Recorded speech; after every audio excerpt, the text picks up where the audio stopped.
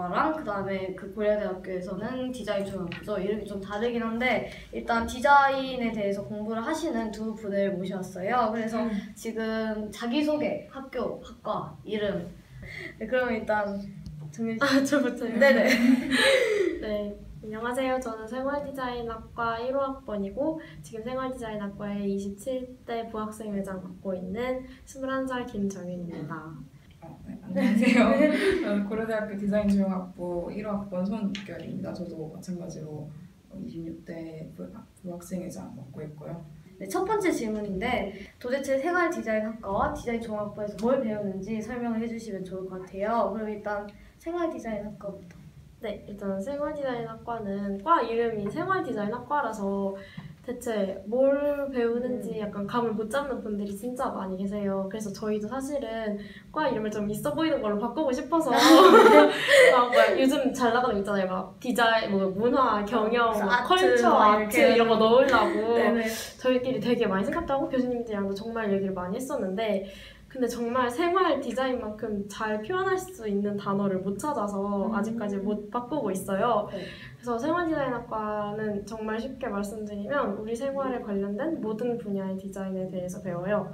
그래서 굳이 나누자면 어, 제품 디자인, 시각 디자인, 패션 디자인 세 가지 분야로 나뉘는데 이 세 개 중에서 자기가 전공을 선택한다기보다는 두 개 이상, 그러니까 세 개를 다 해도 되고요. 두 개, 최소 두 개 이상 그 분야에 대해서 깊게 공부를 해야 돼요. 그러고 나서 이제 그 디자인뿐만이 아니라 어, 사용자 경험 디자인, 그러니까 UX 디자인이나 아니면은 기획 쪽의 일을 또 굉장히 많이 배우게 되고 그냥 다른 미대들에 비해서 실기적인 부분보다는 조금 이론이나 기획 관련 분야로 좀더 커리큘럼이 맞춰져 있는 것 같아요. 아 그러면 UX 디자인이라고 했는데 네. 사실 모르는 분들도 많을 것 같아요. 그 UX 디자인에 대해서 한번 설명해 있나요? 아, UX 디자인이 뭐냐면 user experience 디자인의 오. 약자거든요.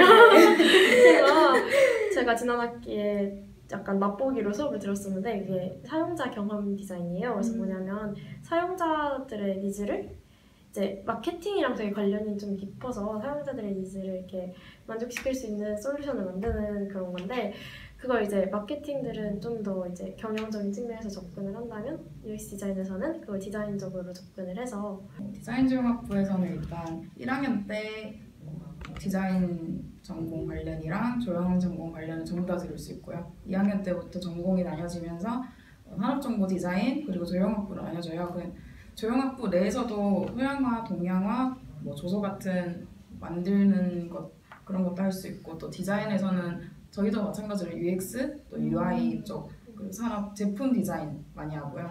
그렇게 어, 나뉘어져 있어요.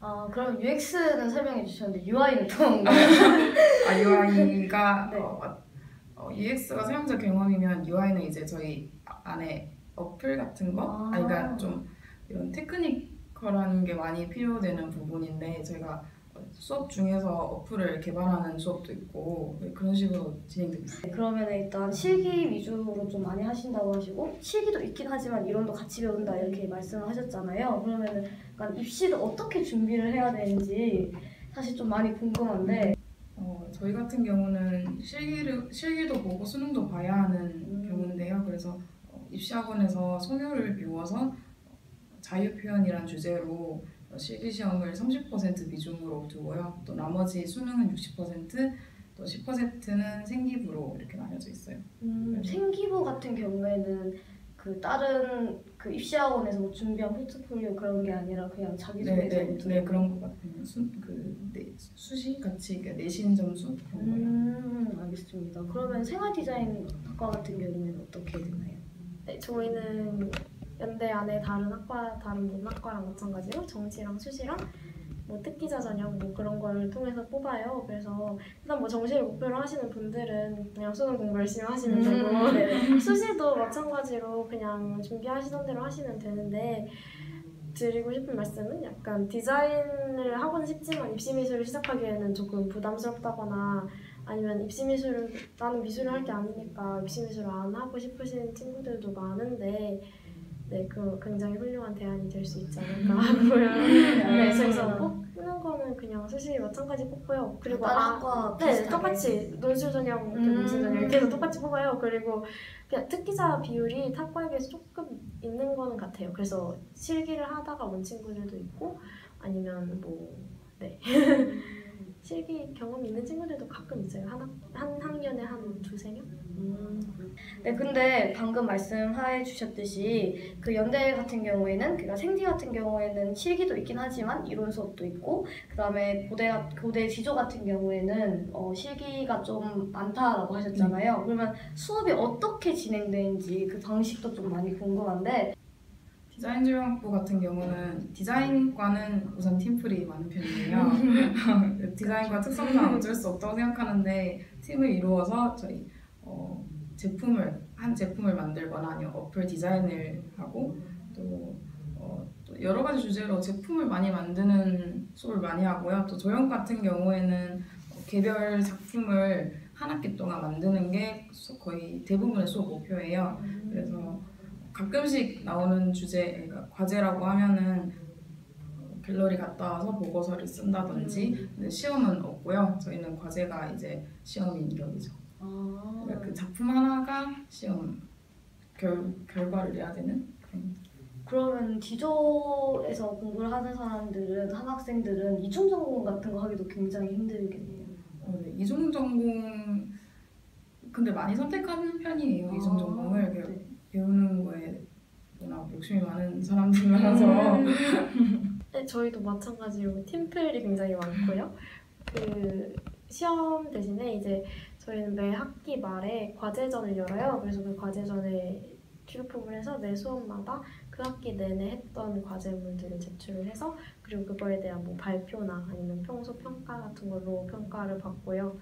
보통 한 학기 내내 같은 조가 하나의 프로젝트를 완성하는 경우가 많아요. 그리고 아 실기 같은 거 아까 말씀하셨는데 실기 이렇게 진짜 손으로 그림 그리고 하는 거는 대체로 1학년 때 마무리가 되는 편이고 2학년 때는 이렇게 직접적인 실기보다는 툴을 많이 쓰는데 그 기획 쪽에 좀 더 교수님들이 치중을 좀 비중을 두시는 것 같아요. 그래서 그러니까 아이디어로 더 많이 평가를 하시는 것 같은. 계속 이따 말씀을 드리는데 이게 입시에서 실기가 없잖아요. 네. 그러면은 그래도 타대를 목표로 해서 그 입시 학원을 다녀서 미술을 준비했던 학생들도 그래도 있을 것 같기는 네. 한데 그래도 그 학과 안에서 그 합격한 학생들 중에서 좀 입시 학원을 다니다가 온 친구들도 많나요?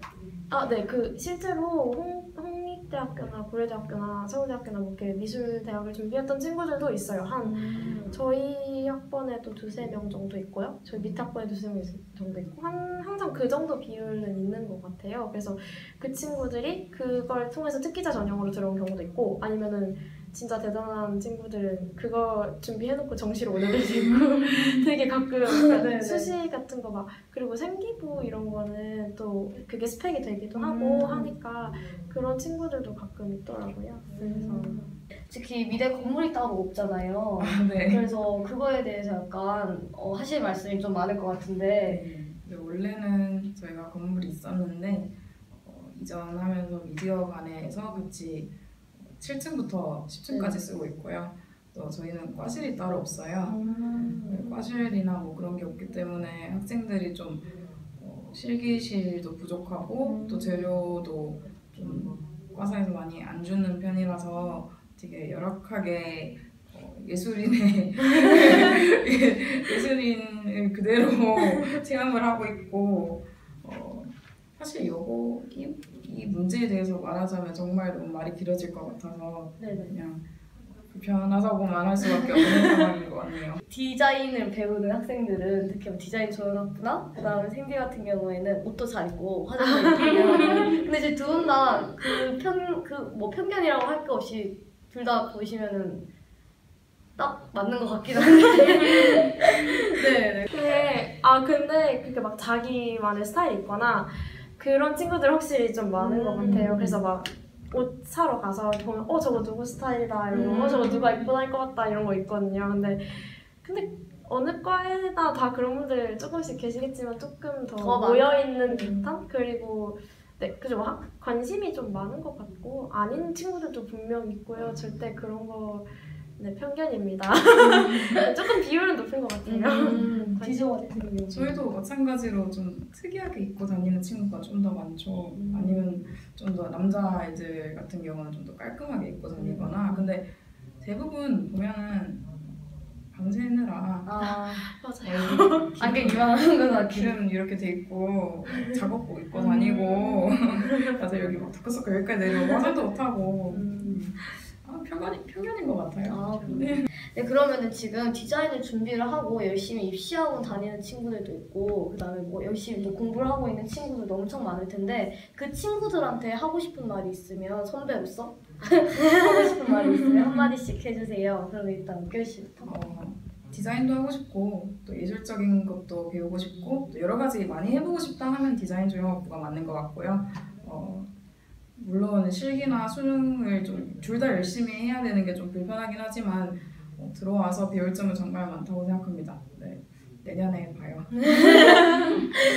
일단 제일 약간 제일 궁금해할 것 같으면은 디자인에 대해서 배우고 싶은데 입시 미술을 시작하기는 부담이 되는 사람들이 정말 많을 것 같고 그리고 막상 관심은 있지만 확 뛰어들어서 미술을 할 생각이 아닌 친구들은 좀 꺼려 꺼려지 조심스러워질 수도 있으니까 네 그래서 저 같은 경우도 좀 그랬거든요. 저는 고등학교 2학년 후반 때 생활디자인학과를 처음 알아서 그러니까 디자인 쪽 디자인 쪽에 관심이 생겼는데 그때 이미 미술을 시작하기 늦었고 그리고 좀 위험하기도 하고 시작하다 보면 성적을 같이 하는 게 진짜 어렵잖아요. 그렇죠. 그래서 아, 좀 무섭기도 하고 그래서 찾다가 생활디자인학과를 알게 됐어요. 그러고 나서 이쪽을 초점으로 공부를 했는데 정말 정보를 찾을 데가 없어요. 과에서 워낙 작고 저희 한, 한 학년에 30명밖에 없거든요. 음. 그래서 진짜 과 자체도 작고 생긴 지도 10, 아 20년 됐구나. 그래서 그렇게 오래 됐지 않아가지고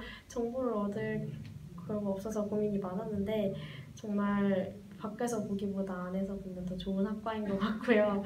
더 많이 궁금한 점 있으시면 언제든 네, 네. 여러 가지 방법을 통해서 저희 페이스북 페이지도 있고요. 네, 아니면 그래서- 뭐 여기 유튜브에 아, 또 네. 올리면은 댓글로 하시면은 매일 확인해 주세요. 아, 네, 알겠습니다. 네, 네, 댓글 달아주세요. 네, 아, 누구지? 네, 그래서 승디 많이 알리고 싶어요. 너무 다들 모르시는 것 같아서. 알겠습니다. 네. 네, 그래서 4년도 이제 막바지에 접어드는데 이제 마지막 학과까지 뭐 많은 관심 부탁드립니다.